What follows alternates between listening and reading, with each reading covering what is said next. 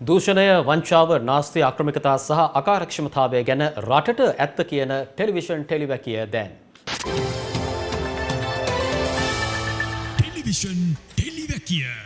අද ලියන්නේ හාරසිය හතලිස්වැනි ටෙලිවැකිය. ඊයේ ඉල්ලා අස්සුණු චමින්ද විජේසිරි මන්ත්‍රීවරයාගෙන් ආරම්භ කරලා ඊය රාත්‍රයේ ඔය මන්ත්‍රී මැති ඇමැත්තන් මේ මුහුද මැද දැමූ පාටියෙන් ටෙලිවැකිය අවසන් කරන්නට හිතුවේ. හොඳේ තාමත් මේ ඔය පාට තොප්පි පාට කන්නාඩිහෙම දාගත්ත බුද්ධිය හීන අහිංසකයකු හැරණුකොට අනිත් සියලු දෙනාගෙන්ම ඉල්ලන්නේ ඔය පාට කන්නාඩි තොප්පි හෙම ගලවල පැත්තකින් තියමු හොඳේ ඔවු ඊය ටෙලිවැකිය මතකද රටේ ජනගහනයෙන් පවුල් ලක්ෂ තිස්ස එකක් බරපතල නයකාරින් බවට පත්වෙලා. මේ පවුල් ලක්ෂ තිස්සකෙන් පවුල්ලක්ෂ හතක් ණය අරගෙන තියෙන්නේ එදිනෙදා කුසපුරව ගන්න කෑමටික කන්න හොඳේ මේ පවුල් ලක්ෂ තිස්ස කෙනුත් පවුල් ලක්ෂ දහයක් තමන්ගේ කන්න කර උගස්තියලා. විදුලිය කියන්නේ මොකක්ද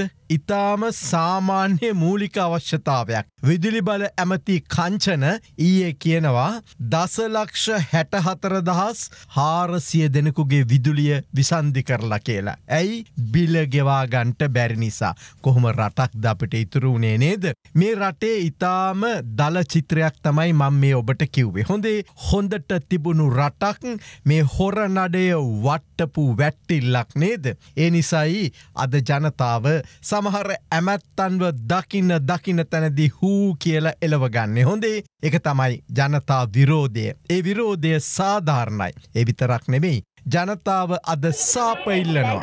මේ වගේ ප්‍රසිද්ධ මාධ්‍යක ලියන්න බැරිතරමට සාපඉල්ලනවා. අර ඊය පෙරේදා දියවන්නාවේ ජොගින් පාත්තක ළඟ හිටපු කිඹුලගෙන්. ඒ අවට රැස්සුණු ජනතාව ඉල්ලා සිටිය මොකක්ද දන්නවද.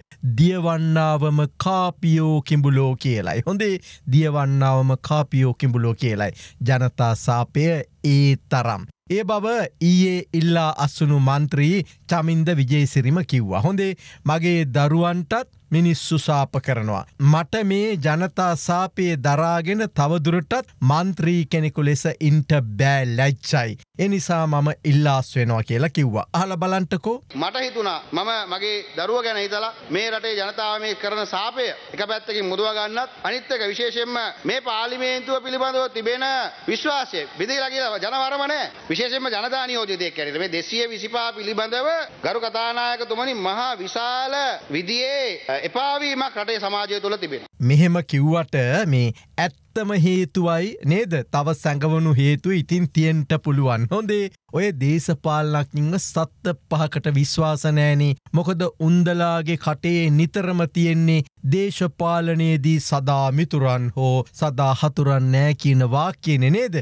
ඒ නිසා අනාගතයේදී වෙන බල්ටියක් එහෙම ගැහුව කියලා ආයිතින් අමුතුවෙන් පුදුමවෙන්ට දෙයක් එහෙම නෑ හොඳේ දැන් බලමු ඒ රාත්‍රයේ මේ මුහුද මැද සාජ්‍යය පාටිය. හොඳේ ගොඩබිම උලාකාලා උලාකාලා ඒ ලැජ්ජාවටද දන්නේ නෑ. මුහද මැද්දෙ තමයි සාජ්‍ය දැම්මේ. හරිද? මොකද ගොඩබිම උලාකාලා ඉවරයිනි. මන්ත්‍රී මැති ඇමැත්තලා හරද? මේ නඩේ පණහක් හිටියලු. වරාය රාජ්‍ය ඇමති ප්‍රේමලාල් ජයසයකර තමයි ලූ වරාය අධිකාරයෙන් මේ ඉල්ලීම කරලා තියෙන්නේ. හොඳේ ඉල්ලීමේ තියෙන්නේ මැති ඇමති මන්ත්‍රීලා සඳහා කෙටිකාලීන නාවික සංචාරයක් දෙන්ට කියලලු හොඳේ සංචාරය මේ ආරම්භ කරලා තියෙනේ රාත්‍රියේ.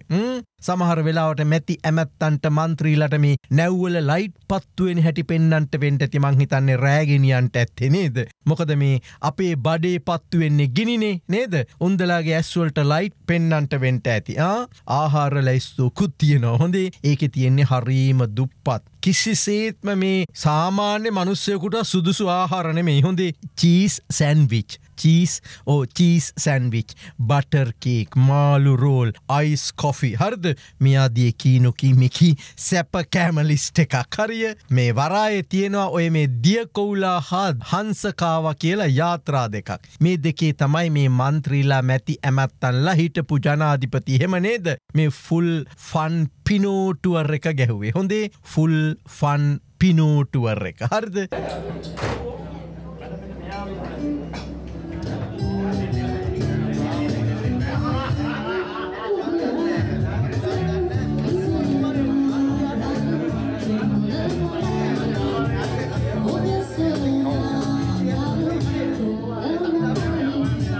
රටේ දරුවන් මන්ද පෝෂණයට ඇදල දාපු. පාසලකට යවාගන්න බැරි තරමටම රට විනාශ කළේ රටේ තරුණු තරුණියන්ට විතරක් නෙවෙයි උගත් දොස්තරලටත් රට දාලා යනතැනට වැඩේ සෙට් කළ. ලෝකය ඉදිරියේ මේ ලස්සන රට බංකොලොත් හිංගන රාජ්‍යයක් කළ මෙත්තක් කඩි දේශපාලනක්ඥින් මොන තරම් මොන තරම් මේ ෆන් එකේද ඉන්න කියලා ෆන් එකේද ඉන්න කියලා තේරුම් අරගෙන. මේ සැරේවත් මේ සැරේවත් ඔය ෆන් එක අවසන් කරන්න හරියටම කතිරෙගහන්ට කියලා ඕන් අද ටෙලිවැකිය මතක් කරනවා.